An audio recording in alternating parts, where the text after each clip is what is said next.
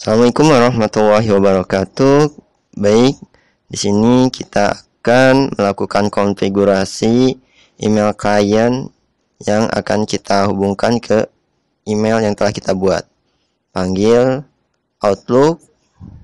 Nah, di sini email klien yang kita gunakan yaitu Outlook bawaan dari Microsoft. Pilih file, menu file ya. Menu file. Kemudian pilih tombol add akun. Kemudian akan muncul halaman untuk menambahkan akun. Isikan your name dengan nama kita. Kemudian email. Masukkan alamat email yang telah kita buat di Gmail. Atau bisa juga dengan email yang telah kita buat di misalnya di Yahoo kayak gitu. Kemudian masukkan password sesuai dengan password pada Gmail. Masukkan kembali password yang sama. Jika sudah, klik tombol next. Tunggu sampai terhubung dengan server Gmail. Oke.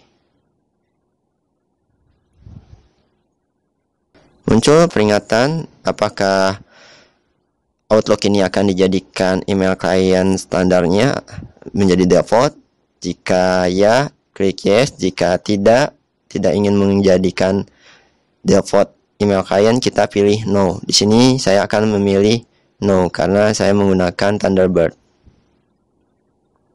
Oke. Oke, tunggu sampai proses selesai. Nah, email sudah masuk. Oke, email oke, okay, currency sukses. Kemudian jika ingin menambahkan email lain, bisa klik tombol ini.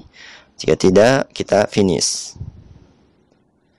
Nah, di sini email sudah terhubung dengan email klien kita dan akan secara sinkronis email yang ada pada Gmail inboxnya akan terdownload pada email klien yang kita konfigurasi.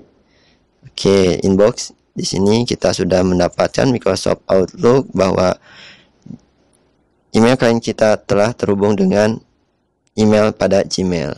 Baik, demikian bagaimana cara mengkonfigurasi email klien. Terima kasih. Assalamualaikum warahmatullahi wabarakatuh.